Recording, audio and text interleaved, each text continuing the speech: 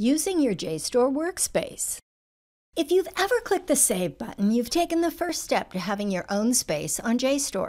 Your workspace is the place to save the images, primary sources, journal articles, and book chapters you find on JSTOR. Then you can always get back to that content for reading or sharing. Once you register for a free personal account, your workspace is ready to use. For our previous videos on saving to your workspace and on registering for an account, see the links below. JSTOR continually releases new content and features, so your view may not exactly match the examples in this recording. You can get to the workspace from any page on JSTOR, from the Tools drop-down menu near the top of the page, or the drop-down menu after your name at the top of the page. We are now in my workspace.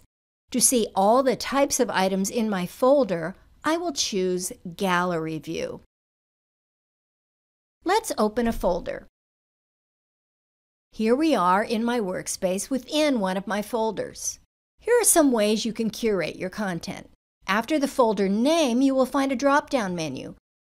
By choosing Add a Description from that drop-down menu, I can access a text box where I can include any commentary about the content of my folder. I can lengthen this box to give myself plenty of room to add my text. Each item in my folder also has a drop-down menu. From this menu, I can add a note about that item.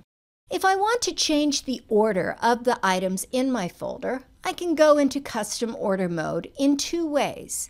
Either from the sort drop-down menu after the folder name, or simply by beginning the action of sorting by dragging the item where I would like to place it in the folder.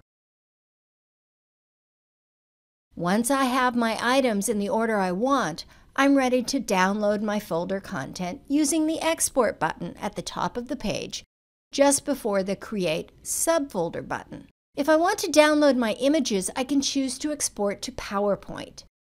Within the speaker's notes of the downloaded PowerPoint, on the title slide, you can find any folder description you may have written.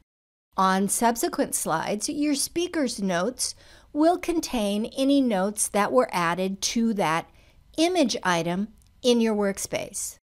Those notes can be found below the image metadata, that is, the information about the image, in the speaker's notes as well.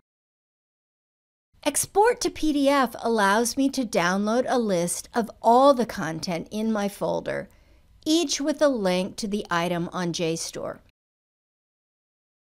My folder description appears at the top of the list.